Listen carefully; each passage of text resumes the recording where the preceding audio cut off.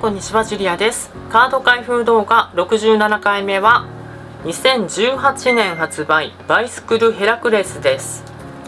このバイスクルヘラクレスなんですがキックスターター経由で作られたアイデアルデックでデザインの方がブラックアートブラザーというところが作っていて販売の方がテキサスにあるカジノのギャンブラーズウェアハウスというところが販売しています。で内容なんですが12レイバーっていうヘラクレスの12の功績というエピソードをモチーフにしたデザインになっています。でこのバイスクルヘラクレスなんですが色違いで同時にヘラクレスプレイングカードという青い方のデックも出ています。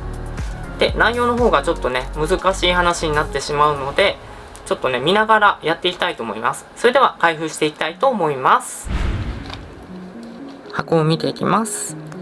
神話上の話なんでヘラクレスの容姿についてはこのカード用に書き起こされたイラストのヘラクレスになります。でヘラクレス自体は神々の王ゼウスの息子とされていて半身ゼウス、まあ、神と人間とのハーフということです。じゃあ横面見ていきます。マスターフィニッシュデザインドイン USA 反対側がギャンブラーズウェアハウスダラステキサスってね販売してるところの表記があります。上面がデザインだけで何も書かれていなくてクロージャーシールの方がこれ専用のデザインになっていてこれエピソードに出てくるネメアの獅子っていうねライオンのデザインになっているクロージャーシールになってます。でバックデザインがこんな風に黒を基調としたものになってますがもう一つのバイスクルじゃない方のヘラクレスプレイングカードは青色を基調にしていてねデザイン自体は同じになっています。で下面が横に書いてたのと同じでギャンブラーズウェアハウスの表記とデザインの場合ブラックアウトブラザーって書いてます。アーラが KY 製でリサイクルマークが入っています。うん、それでは開封していきたいと思います。完全なデザインクローザーシールなんでね。慎重に切りたいと思います。はい。切れ目を入れました。おお箱の裏面もデザインがある。でこっちがバック面ですね。ってことはこっちが表面のジョーカー。ジョーカーもヘラクレスなんですね。で一旦ちょっと裏面のバック面見ます。これまあ箱と同じですね。こんな感じで。一応上下対象になっててマジックでも使いやすくはなっています。うん。じゃあ表面を見ていきます。ジョーカーがこんな風に色違いでスペードのエースがこんな風にパッケージと同じでパッケージとジョーカーはねちょっとポーズが違うけどヘラクレスです。でバイスクルヘラクレスは12レイバーヘラクレス12の香料、まあ、鉱石のエピソードを題材にした、えー、デザインになっていてまあそれぞれねこのこの12個のエピソードは王エウリュステウスっていう王がいてこのエウリュステウスがヘラクレスにかなりの難題を押し付けるというエピソードになっています、まあ、ちょっとまあ見ていきましょう。スペードの2数字のカードはこんな感じで完全にカスタムピップスとインデックスで普通のバイスクとは完全に違う感じになっててね豪華になっています。デザインに特化した感じですね。で絵札のカードそれぞれねこのエピソードのデザインになっていてスペードのジャックはジェルネイアの鹿っていうエピソードです。アカイア地方ゲルネイアのメスジカ女神アルテミスの聖獣で黄金の角と聖堂の蹄を持ってているという鹿です。ちょっと長すぎるので文字に書き出してるのでちょっと読んでる感じになるんですけど。で5頭のうち1頭が、えー、狩猟の女神このアルテミスでも捉えることができないほど足の速さで傷つけることを禁じられているためヘラクレスはなんとね1年間追い回した末に鹿を生け捕りにしたそうです。スペードのクイーンはデルネのヒドラ大使。デルネの沼っていうところに住む。9つの頭を持つ水蛇ですね。世界最強の猛毒を持つ蛇。でこの蛇の毒がねこの後のエピソードにも出てくるっていうみたいな感じです。で最初鉄の釜でヒロラの首を切っていたヘラクレスなんですが、ね、切っても切ってもそこからさらに2つの首が生えていきどんどんどんどん増えていって収集がつかない状態だったらしいです。しかもその中の1つだけ不死身の頭が1つあって絶対に倒せなかったんですね。で従者イオラオスっていう人が松明の炎で焼いて新たに首が生えるのを阻止している間にヘラクレスがその最後に残った不死身の頭を岩の下に埋めて封印したっていうことでヒロラを退治したそうです。後にヒロラは海蛇座っていうね星座になったそうです。スペードのキング。これがこのクロージャーシールにね描かれていたライオンさんのやつですね。ネメアの獅子退治っていうエピソードです。ネメアの獅子をコンボでボコボコにして洞窟へと追い込んで入り口を大岩で塞いで逃げられないようにして3日3晩格闘のせいに絞め殺したっていう。あちなみにこの獅子は後に獅子座になったとされているそうです。でスペードのエース以外は普通のマークになっていてエピソードはないみたいですね。ダイヤのデザインかっこいいですね。はいじゃあ絵札いきます。ダイヤのジャック。ダイヤのジャックはもういきなりですねヘラクレス12の工業のエピソードの中には最後になるのがもういきなり来てるんですけど冥界の番犬ケルベロス3つの頭を持つ犬の化け物のケルベロスを連れ帰るというエピソードです。これ退治するわけじゃないんですね。ヘラクレスは冥界に入り、ハデスから、まあ、武器は使わない、殺さないというのを条件で許可をもらって、ケルベロスを素手で生け捕りにして連れ帰ったということです。はい、じゃあ、ダイヤのクイーン。ダイヤのクイーンはヘスペリデスの黄金のリンゴを持ち帰るというものです黄金のリンゴは100の頭を持つ竜ダードーンっていうのが守っていたんですがヘラクレスはこれを倒してリンゴを手に入れたそうです、まあ、これ単純な話ですよねで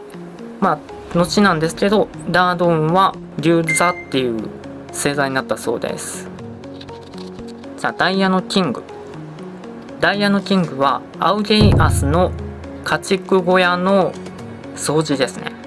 エリスっていう王国の王。アウゲイアスは3000頭の牛を持っていてその牛小屋のはね30年間掃除されたことがなかった。掃除を1日で終わらせるとその牛の10分の1を与えようということでその約束をしたヘラクレスはアルペイオス川とペネイオス川の2つの川の流れを強引に変えて小屋に引き込んで30年分の、え汚れをいっぺんに洗い流したんですがその代わりその川流れが狂ってしまってたびたび洪水を引き起こすようになるというねなんかね災害を起こしてしまうっていう形になります。でその後ね結局アウデイアスは約束を守らなくって知らんぷりを決め込んだためにヘラクレスに滅ぼされたそうです。じゃあクラブのキングいきます。クレイのお牛というエピソードです。世界の果てにあるクレタ島をミノスを罰するためにポセイドンの送り込んだクレタのお牛を生け捕りにするというエピソードです。ヘラクレスはミノス王に協力を求めるが拒否されて結局素手でね格闘してこのお牛をおとなしくさせてアルゴスまで連行したそうです。はい。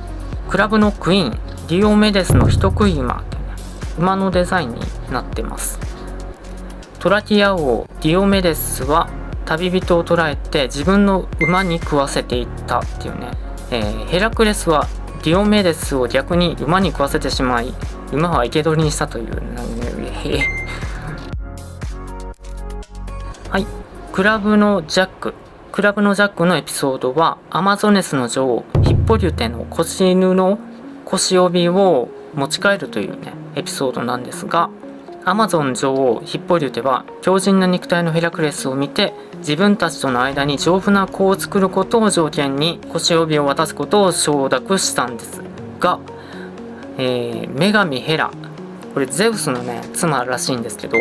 女神ヘラがアマゾネスの一人に変化してヘラクレスが女王を暗殺しようとしていることを触れ回ったためにアマゾネスとの間で戦争になってしまいます。で事情が分からず攻撃されたヘラクレスが激怒して女王ヒッポリュテを殺害し腰帯を持ち帰ったそうです。が後で事情を知ったヘラクレスはねかなり後悔したそうです。こんな感じの腰帯だったんですね。でクラブの数字のカードです。はい。で最後ハートですね。ハートのキング。はエリュマントスのイノシシっていうエピソードです。エリュマントス山に住む巨大な人食いイノシシまた人食いなんですね。で生け捕りにしたっていうエピソードです。で生け捕り自体は問題なく片付いたんですがこの時ヘラクレスはケンタウロスの一族のポロスに助けを求めていました。ポルスが扱っていたケンタウロス一族の共有していた酒をヘラクレスが飲んでしまったことによってまた戦争になってしまいます。で助けに来てくれた武術の師であるケイロン。ケイロンってねあのヘラクレスに武術を教えた不将様なんですが誤ってだいぶ前に倒したヒロラの毒をつけた毒矢で射抜いてしまうんですね。でケイロンは不死の力を与えられていたので死ねないのに毒の苦しみが耐えきれず不死の力をプロトメテウスっていう神に譲渡して死を選びました。で後にケイロの死を惜しんだゼウスは彼をいて座にしたと言います。いて座っていうのはケイロンっていう人だったんですね。ハートのクイーン。エルテイアとゲリオンの飼う赤い牛っていうエピソードです。エルテイア島では相当の犬頭が2つあるね犬。オルトロスが牛を守っていました。ヘラクレスはオルトロスや牛の番人を棍棒でボコボコに殴り殺して赤牛と共に牛の群れを奪ったそうです。そして牛を奪い返そうと追ってきたゲリオンをさっきも出てきたね。あのヒロダの毒矢で殺害したそうですって。はい。じゃあハートのジャックステュームパロスの会長というエピソードです。女神アテナからもらった聖堂の鳴子で大きな音を立ててこのスティムパロスという島にいている会長たちを音で驚かせて飛び上がらせて退治するっていうね。これもまたねヒロラの毒矢で言おうとしたとされている。そうです。エピソード的にはこんな感じで全てですね。ハートのデザインも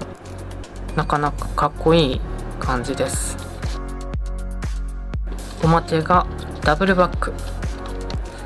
でハートのキングとクイーンが一緒になったマジック用のカードですね。はい。それでは最近のものとで厚みを見ていきたいと思います。最近のスタンダードよりも3枚分厚みがあるみたいです。滑り方はまあいつもの感じで最近のスタンダードと同じくかなりいい感じに滑ります。じゃあファローいきます。これも問題なく入りますね。まあ、滑りもファローも性能はいいですが基本的にデザインデックなのでねそれほど気にすることもない感じです。はい。バイスクルヘラクレスを開封しました。さっき言い忘れたんですけどこのバイスクルヘラクレスは5000個限定の数量限定生産品となってるみたいです。でもう一つのヘラクレスプレングカードの方はもう少し少なくて2500個限定の数量限定生産品となってるみたいです。デザインまあ間違いなくかっこいいんですがヘラクレスのこの神話のエピソードを知ってることによってあこれそのエピソードのカードなのかっていう感じでまたちょっとね深く見ることができると思うのでまあ知っておいた方がより楽しめると思います。それではジャンル分けしたいと思います。性能の方は最近の競売性の高性能なものと、まあ、同じだと思います。ではジャンル分けなんですがブラックアウトブラザーズのデザインなのでコラボ企画。でコンセプトがヘラクレスのコンセプトなのでコンセプト。で完全カスタムオリジナルのヘラクレスデザイン。デザイン。でコレクション要素は数量限定生産なんで間違いなくそのうち高くなると思います。コレクション。で5000個限定生産なので数量限定生産になります。バイスクルヘラクレスでした。よろしければチャンネル登録いいねボタンよろしくお願いします。それでは